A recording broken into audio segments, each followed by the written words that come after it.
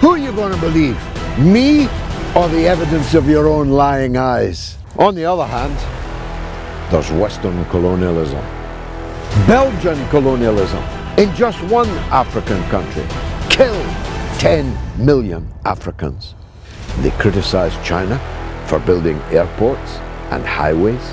Seriously? China is building infrastructure in Africa. The West merely looted the continent.